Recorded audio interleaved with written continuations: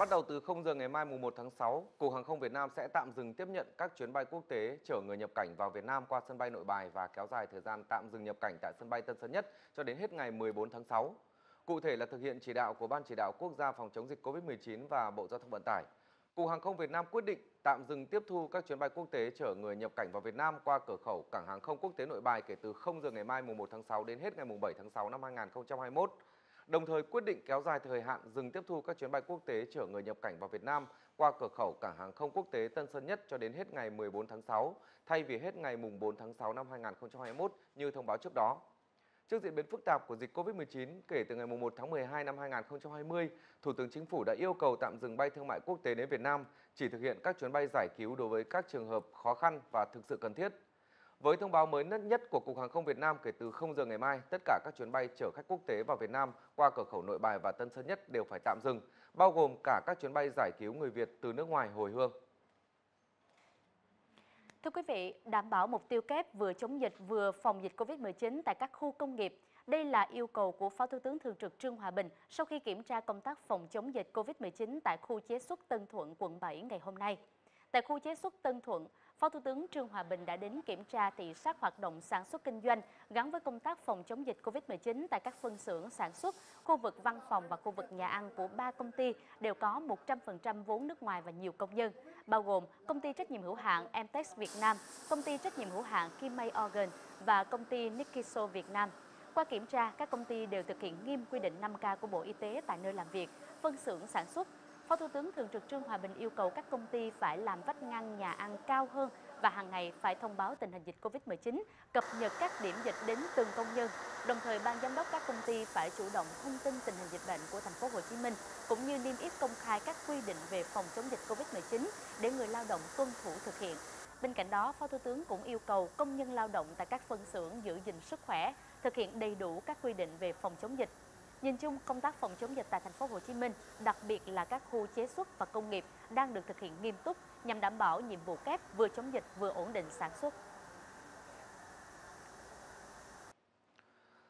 Thưa quý vị, Bắc Giang vào thời điểm này đang là cao điểm của dịch bệnh, mọi khó khăn đang dồn về địa phương này. Nhằm ra soát diễn biến thực tế để có chỉ đạo hỗ trợ kịp thời Ban chỉ đạo quốc gia phòng chống dịch COVID-19, thường xuyên tổ chức họp trực tuyến với tỉnh Bắc Giang và chiều nay, Phó Thủ tướng Vũ Đức Đam tiếp tục chủ trì cuộc họp với địa phương này để có chỉ đạo phù hợp với tình hình mới. Từ đầu cầu Bắc Giang, Chủ tịch Ủy ban nhân dân tỉnh Bắc Giang Lê Ánh Dương cho biết, hôm nay Bắc Giang tiếp tục ghi nhận 156 ca mắc COVID-19. Qua xét nghiệm 45.000 mẫu ở khu lân cận ổ dịch Việt Yên và gia đình công nhân đều có kết quả âm tính, cho thấy trọng tâm vùng dịch vẫn là huyện Việt Yên. Hiện vùng này vẫn chưa lây lan sang những vùng lân cận. Việc lấy mẫu F1 tại núi Hiểu, Vân Trung, Trung Đồng qua kết quả cho thấy F0 giảm còn một nửa so với trước. Chuyên gia của Viện Vệ sinh Dịch tễ Trung ương trong tổ công tác đặc biệt của Bộ Y tế tại Bắc Giang nhận định, trong 3 ngày nữa, các ca F0 tại Bắc Giang tiếp tục giảm bởi thực tế đến nay đã khoanh vùng dịch gọn tại Việt Yên. Phát biểu tại cuộc họp, Phó Thủ tướng Vũ Đức Đam đánh giá, với diễn biến hiện tại có thể thấy tình hình tại Bắc Giang đã có nhiều khả quan. Phó Thủ tướng hoan nghênh những nỗ lực của Bắc Giang trong những ngày qua, kịp thời lấy mẫu, xét nghiệm và truy vết nguồn lây. Bên cạnh đó, Phó Thủ tướng yêu cầu cần bổ sung thêm đối tượng người lao động trong các khu công nghiệp được yêu cầu khai báo y tế bắt buộc và nhóm đối tượng này cũng sẽ là nhóm được ưu tiên tiêm chủng vaccine nhằm đảm bảo miễn dịch trong nhà xưởng. Bên cạnh chỉ đạo Bắc Giang trong công tác phòng dịch, Phó Thủ tướng Vũ Đức Đam cũng đề nghị các doanh nghiệp có nguồn tiếp cận vaccine cần xúc tiến để mua ngay trong giai đoạn này, nhất là quý 3 trước tháng 9. Mọi vướng mắc sẽ được Bộ Y tế tạo điều kiện tối đa và hướng dẫn tháo gỡ. Thưa quý vị, cũng liên quan đến việc cấp phép vaccine trong ngày 31 tháng 5, Thứ trưởng Bộ Y tế Nguyễn Xuân Tuyên cho biết vaccine Nanocovax có thể được cấp phép sử dụng khẩn cấp trong thời gian diễn ra thử nghiệm lâm sàng giai đoạn 3 vào tháng 6 tới. Kết quả đánh giá ban đầu cho thấy vaccine Nanocovax sinh kháng thể ở tất cả tình nguyện viên tiêm vaccine. Vaccine sinh miễn dịch ở 100% người đã tiêm, tác dụng với biến thể nCoV nguồn gốc Anh và Nam Phi lượng kháng thể ở một số tình nguyện viên tăng đến hơn 60 lần khi tiêm liều 2 so với sau khi tiêm liều 1. Chiều hôm nay tại tỉnh Bắc Giang, Bộ trưởng Bộ Nông nghiệp và Phát triển Nông thôn Lê Minh Hoan đã làm việc với các địa phương để nắm bắt tình hình và tháo gỡ khó khăn nhằm thúc đẩy tiêu thụ vải thiều. Tỉnh Bắc Giang đã xây dựng 3 kịch bản để sản xuất và tiêu thụ vải thiều, đảm bảo không ảnh hưởng đến sản xuất và tiêu thụ vải thiều. Địa phương chủ động phương án bảo quản xây dựng gần 1.300 lò sấy khô. Trong trường hợp tiêu thụ khó khăn sẽ sấy khoảng 40 đến 50.000 tấn. Tính đến ngày 30 tháng 5, tổng sản lượng vải tiêu thụ ước đạt 20.000 tấn trên 180.000 tấn.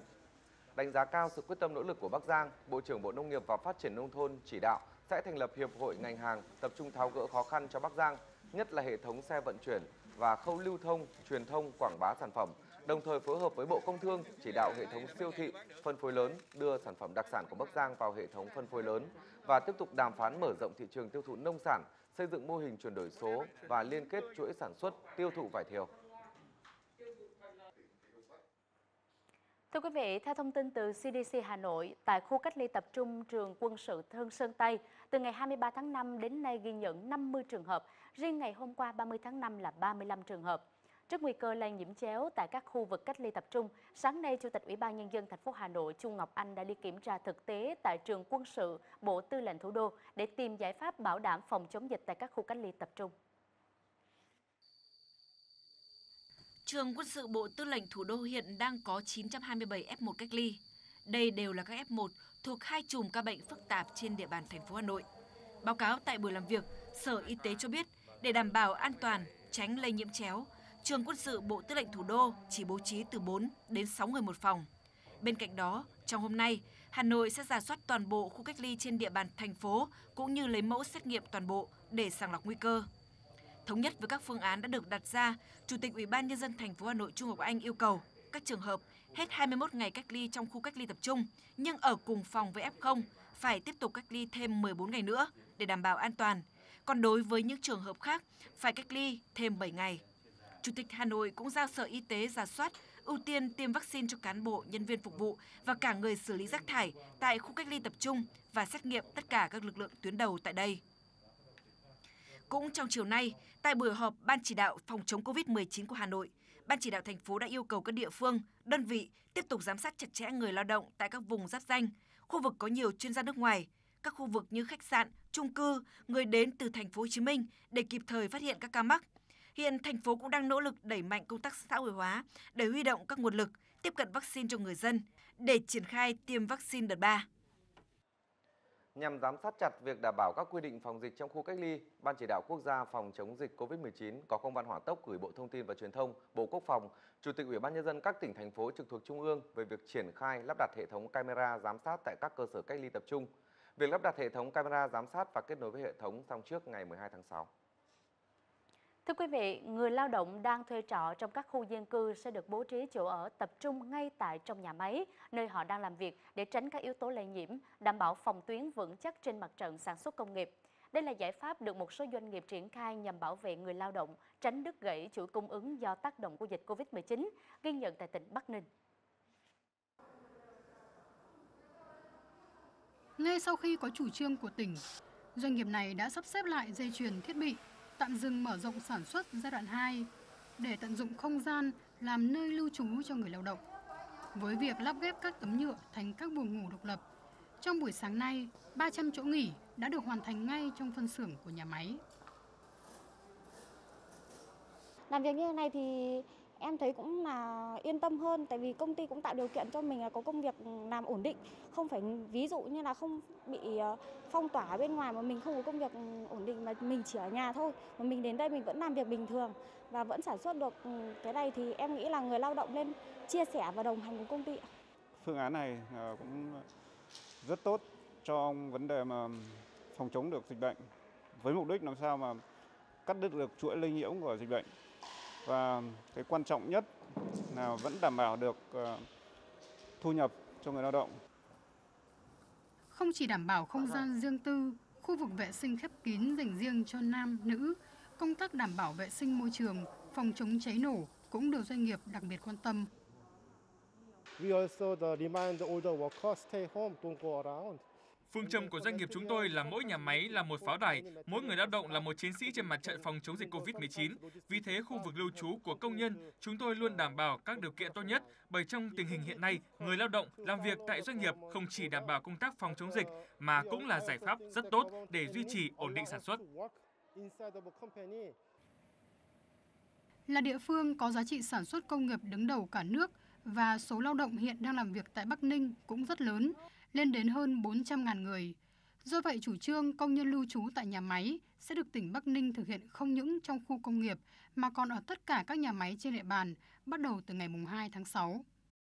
Nếu mà bây giờ vẫn cứ để à, công nhân viên, cán bộ công nhân viên mà đi đi về về thì không thể à, tránh được cái việc mà có thể lên à, lên chéo trong cộng đồng và dẫn đến là đưa vào trong công ty. Do đó thì bên ban quản ban giám đốc cũng có quyết định đó là triển khai việc ờ, cho toàn bộ cán bộ công nhân viên ở lại công ty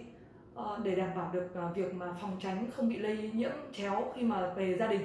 thì chúng tôi đã thực hiện triển khai từ thứ hai tuần trước.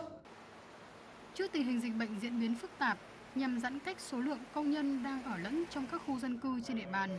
ngoài phương án sản xuất và lưu trú ngay tại trong nhà máy, Ủy ban nhân dân tỉnh đã chỉ đạo các sở ban ngành và địa phương ra soát trưng dụng tất cả các trường mầm non, tiểu học, trung học cơ sở, trung học phổ thông trên địa bàn để bố trí chỗ ở tạm cho công nhân, đảm bảo các biện pháp an toàn phòng chống dịch.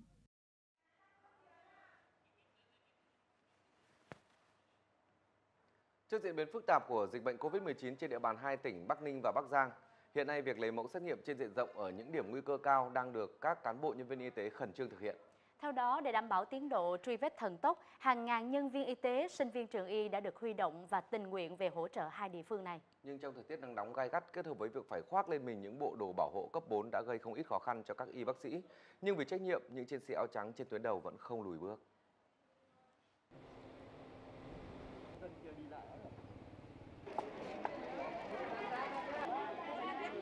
Bác xếp vào đây.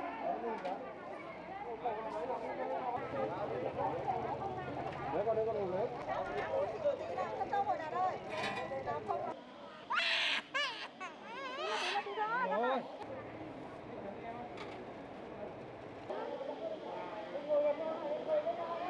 Rồi rồi được rồi được rồi, ông bỏ tay ra cháu. Cháu cháu nhỏ rồi. Hít sâu nha nhá. Do hôm nay là lấy sớm lấy sớm quá thời tiết nó nắng quá năm ra thì các bạn hơi mệt thì cũng sẽ có phương án và cũng sẽ lấy hết. Mình đã di chuyển khai bốn bàn nhưng mà nhân viên đã kiệt sức rồi. Thì bây giờ bọn mình sẽ chuyển khai hai bàn di chuyển theo uh, luân phiên. Người mà sẽ ra nghỉ và tay vào thay. Thì uh, vẫn đảm bảo uh, quy trình và sát khuẩn khử khuẩn. Bạn nhìn thấy bộ bảo phòng hộ ấy, rất là nóng. Mà thời tiết như thế này cái nhiệt độ thứ nhất là nắng nóng như này nhưng mà cái quan trọng là cái không gian này bắt đầu sân nóng quá nó hơi vào. Nó sẽ tăng gấp đôi và tỷ lệ khó thở. Các bạn ấy sẽ mất nước nhiều mất nước khó thở thì sẽ bị choáng mất cái này thì quan trọng là thời tiết và bọn mình vẫn phải duy trì lấy sẽ sẽ uh, cố, cố gắng thắng dịch bệnh lấy hết mình. Thưa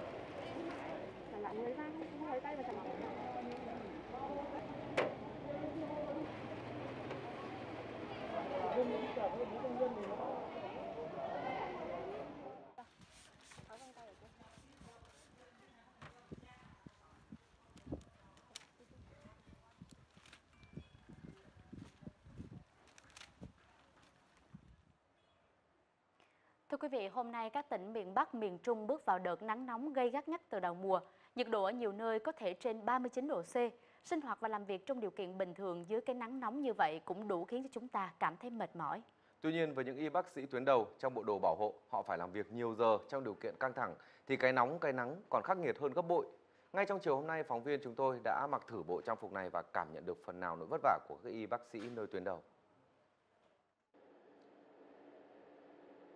Vâng thưa quý vị, lúc này là khoảng hơn 3 giờ chiều tại thủ đô Hà Nội. Nhiệt độ mà chúng tôi ghi nhận được ở ngoài trời là khoảng hơn 40 độ C.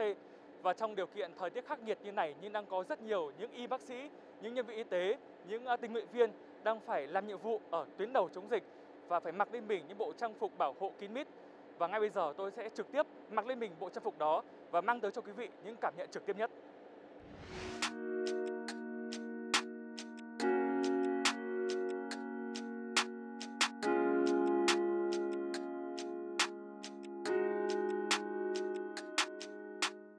quá trình mặc thôi cũng đã rất khó khăn rồi tôi phải đảm bảo sao cho là tất cả những cái bộ trang phục mình phải kín cơ thể nhất có thể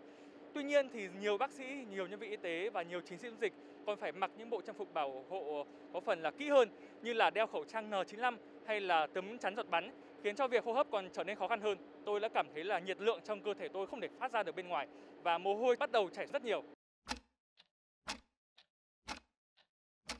Lúc này là trong cổ họng tôi đã bắt đầu cảm thấy khô và khát nước. À, bàn tay tôi thì mồ hôi không thể nào mà thoát ra được khỏi cái găng tay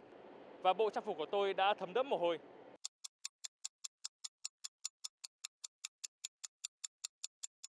À, đầu tôi đã có cái triệu chứng váng, hơi váng nhẹ rồi và cái cổ họng của tôi như quý vị có thể thấy ạ, tôi nuốt cũng khó nữa bởi vì trong ờ, trong miệng cũng như trong cổ họng rất là khô rồi. Và trong cái cơ chế mà để cơ thể con người có thể giảm được nhiệt thì việc toát mồ hôi là một cái cơ chế hiệu quả nhất. Tuy nhiên lúc này thì mồ hôi cũng không còn có tác dụng gì nữa bởi vì ờ, mồ hôi đã bị giữ lại bởi cái bộ trang phục bảo hộ này và đặc biệt là ở cái phần cao su của găng tay ạ. Nước đọng lại rất nhiều và không thể thoát ra được và điều này làm cho cái cảm nhận thì càng ngày càng nóng lên. Và bây giờ tôi ờ, xin phép là được ờ, tháo bỏ bộ trang phục bảo hộ này ra.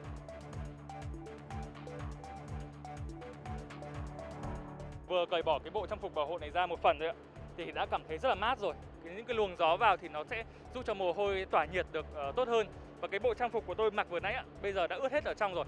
Có lẽ lúc này tôi và quý vị đều mong muốn những người chiến sĩ ở tuyến đầu chống dịch sẽ giữ vững được sức khỏe của mình, sớm hoàn thành nhiệm vụ để có thể trở về bên gia đình. Hưởng ứng lời kêu gọi của Bí thư Thành ủy Hà Nội Đinh Tiến Dũng về chung tay ủng hộ chiến dịch phòng chống Covid-19, chiều nay Ủy ban Mặt trận Tổ quốc Việt Nam thành phố Hà Nội tổ chức tiếp nhận ủng hộ công tác phòng chống dịch Covid-19. 17 đơn vị, tổ chức, cơ quan, doanh nghiệp và nhà hảo tâm trên địa bàn thủ đô hỗ trợ công tác phòng chống dịch bệnh Covid-19 với tổng số tiền 26,7 tỷ đồng. Trong đó, tiền mặt 26,6 tỷ đồng và hàng hóa trị giá 90 triệu đồng. Ủy ban Mặt trận Tổ quốc thành phố Hà Nội nhấn mạnh các doanh nghiệp ngoài ủng hộ quỹ chung của thành phố cũng sẽ chung tay cùng thủ đô chủ động việc tiêm phòng vaccine COVID-19 cho chính cán bộ công nhân viên của mình để giảm bớt gánh nặng cho thành phố. Theo tính toán, với dân số khoảng 10 triệu người, Hà Nội cần kinh phí khoảng 1.500 tỷ đồng.